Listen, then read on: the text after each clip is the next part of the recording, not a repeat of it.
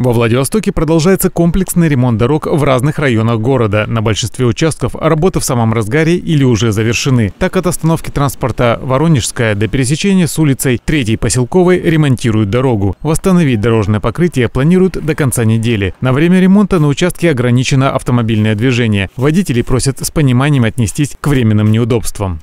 На данном объекте идет восстановление дороги. Это замена грунта, выведение ливневки, будет укладка полотна, подъем бордюров, и чтобы ее приспособить на эксплуатацию в дальнейшем. В городе ремонт дорог идет более чем по 30 адресам и уже подходит к концу на улице Калинина. На сегодняшний день на участке от остановки «Чайка» и до Мальцевской уложено два слоя асфальтобетонного покрытия. Как рассказали в управлении дорог администрации Владивостока, подрядчик приступил к ремонту примыканий. Затем планируется нанести дорожную разметку и установить знаки. Помимо этого, дорожники проведут благоустройство прилегающей территории. Олег Завьялов, Анна Дьякова. Новости на восьмом.